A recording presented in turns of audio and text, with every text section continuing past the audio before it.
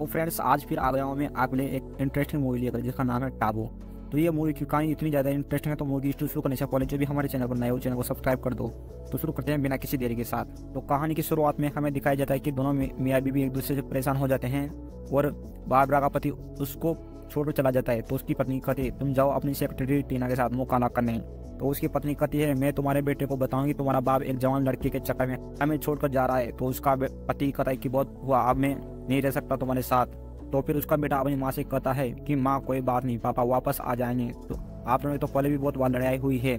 तो उसकी माँ कहती है, भूल जाओ, अब वो वापस नहीं आएँगे। तो उसकी माँ कहती है कि तुम सोच लो, तुम्हें किसके साथ रहना है? उसका बेटा कहता है, माँ, मुझे तो आपके साथ ही रहना है, मुझे ज़्यादा पसंद भी नहीं है पापा।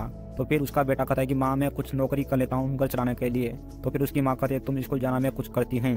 फिर पोल की माँ अपने दोस्त को फ़ोन करके सारी बात बताती है कि मुझे उस कमीने ने छोड़ दिया है, मुझे नौकरी चाहिए। मैं तुम्हारे पास आ रही हूँ। तो फिर पोल की माँ उसकी दोस्त से मिलने जाती है और उसकी दोस्त कहती है, आओ बेटा, तुम कितनी परेशान लग रही हो? तो उसकी दोस्त उसके लिए ड्रिंक बनाती है और कहती है, अब बताओ, तुम्हारे पति ने तुम्हें क्यों छोड़ दिया है? तो वो कहते कि, उसने अपने जवान से कटने के लिए मुझे और मेरे बेटे को छोड़ दिया है। तो उसकी दोस्त कहती है, तुम्हें अब एक नए मर्द की ज़रूरत है तो जो तुम्हारा ध्यान रखे। तो वो लड़की कहती है कि, मुझे अब कोई नया रिश्ता नहीं बनाना है। तो फिर कहानी में उसके बेटे को दिखाया जाता है जो अपनी गर्लफ्रेंड के साथ रोमांस कर रहा है। तो उसकी गर्लफ्रेंड कहती है, मुझे पढ़ना है, बाद में कर लेना रोमांस तो वह लड़का कहता है कि, मुझे तो अभी करना है। वो लड़की कहती है, मत करो ना, फिर वो दोनों रोमांस करने लग जाते हैं। फिर पोल की माँ घर आती है और पोल माँ से कहता है, मैंने खाना खा लिया है और आपका खाना टेबल पर रखा है। तो पोल की माँ कहती है अच्छा हुआ तुमने खाना बना लिया है, मैं तो बुरी तरह से थक गई हूँ। फिर अचानक पोल को कुछ हो जाता है और पोल अपनी माँ को किस करने लग जाता है? फिर पोल की माँ पोल को बताते है कि मुझे नई नौकरी मिल गई है। तो पोल कहता है, कहाँ मिली आपको नौकरी? तो पोल की माँ कहती है कि, वो मेरा पुराना दोस्त है ना, जो तुम्हारे लिए बचपन में खिलौने लेकर आता था। उसी ने मुझे नौकरी दी है। पोल की माँ कहती है, उसका ऑफ़िस भी हमारे घर के पास ही है। तो उसने मुझे तुरंत ही नौकरी दे दी। फिर पोल कहता है, ये तो अच्छी बात है, चलो फिर खाना खा लो। कहानी में अगले दिन दिखाया जाता है जहाँ पोल की माँ अपने ऑफ़िस में काम कर रही है और उसका बॉस काम के बहाने उसको देख रहा है। फिर पोल की माँ को अपनी दोस्त का फ़ोन आता है और वह बात करते हैं तो उसकी दोस्त कहती है, तुम अपने बॉस के साथ डेट पर जाओगी ना? तो पोल की माँ कहती है, मैं सोच रही इस बारे में, अगर यह अच्छा इंसान लगा तो मैं इसके साथ डेट पर जाऊँगी। फिर उसका बॉस अचानक पोल की माँ के साथ ज़बरदस्ती करने लग जाता है और पोल की माँ उसे बचकर बाहर चली जाती है। फिर पोल की माँ वापस ऑफ़िस में आती है और अपने बॉस से कहती है, मेरे काम के पैसे दो मुझे नहीं करनी यहाँ नौकरी, बाहर में जाए तुम्हारी नौकरी।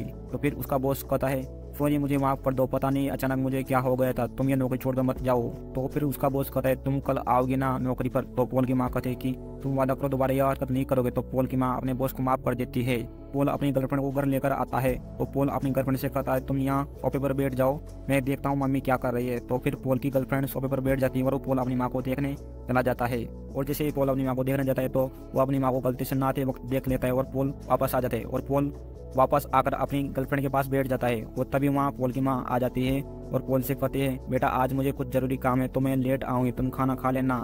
फिर पोल की माँ बाहर चली जाती है और फिर पोल और उसकी गर्लफ्रेंड रोमांस करने लग जाते हैं। फिर पोल की माँ अपने बॉस के साथ एक पार्टी में चली जाती है। फिर बारबरा का बॉस उसके लिए एक ड्रिंक लाता है और कहता है कि थोड़ा लोगों के साथ मिला जुला करो पार्टी में।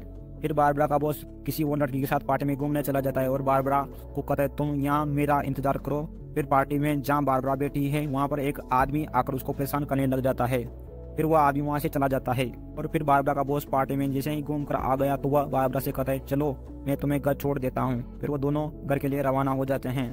फिर बारबरा का घर आ जाता है तो उसका बॉस कहता है, बहुत रात हो गई, तुम घर जाओ अब। फिर बारबरा घर चली जाती है और घर आकर सो जाती है, पर बारबरा को नींद नहीं आ रही, उसको अजीब सी बेचैनी हो रही है। तो वह उठकर अपने बेटे के कमरे में आ जाती है और वह क्या देखती है कि उसका बेटा बिना कपड़े के ही सो रहा है। फिर पोल की माँ पोल को देखकर वापस चली जाती है। फिर अगले दिन जब सुबह पोल उठता है तो वह किचन में पानी पीने के लिए आता है। तो फिर पोल की माँ सुबह जल्दी ऑफ़िस चली जाती है और पोल के लिए एक लेटर छोड़ जाती है। तो पोल उस लेटर को पढ़ता है और उस लेटर में लिखा था कि पोल रात में किया वो बहुत गलत था। मैं शाम को आकर तुमसे इस बारे में बात करूँगी। अब कान में पोल की माँ को दिखाया जाता है जो ऑफ़िस में बैठी हुई है और जो रात को उसके बारे में सोच रही है। तभी पोल की माँ को एक कॉल आ जाता है तो तो वह कॉल को उठाती है। वो कहती है मैं तुमसे बाद में बात करूँगी, मैं अभी बहुत परेशान हूँ और फ़ोन रख देती है। तभी बारबरा का बॉस आता है और क्या हुआ? तुम ठीक नहीं लग रही। तुम आज छुट्टी क्यों नहीं ले लेती? तो बारबरा कहती है, कितना सारा काम बाकी है, अभी मैं कैसे छुट्टी ले लूँ? तो बारबरा का बॉस कहता है, आज हम दोनों काम से छुट्टी लेकर कहीं बाहर घूमने चलते हैं तो फिर दोनों बाहर घूमने आ जाते हैं। फिर दोनों बाहर घूम रहे होते हैं तो एक दुकान पर रुकते हैं और वहाँ से कुछ खाने लिए खाने का सामान खरीदते हैं और दोनों खाने लगते हैं और दोनों खाना, दोनों खाते खाते चलते हैं। फिर अब वो दोनों एक बलून वाले के पास जाकर रुकते हैं और बलून वाला उन दोनों को एक अच्छा सा बलून बनाकर देता है। फिर वो दोनों घूमते हुए समुद्र के पास आ जाते हैं और समुद्र के पास खड़े होकर बातें करने लग जाते हैं। तो फिर बार बार का बॉस उसको शाम को घर छोड़ने आता है और छोड़कर चला जाता है। फिर पोल की माँ पोल के कमरे में आ जाती है बात करने और दोनों कल जो हुआ उसके बारे में बात करते हैं।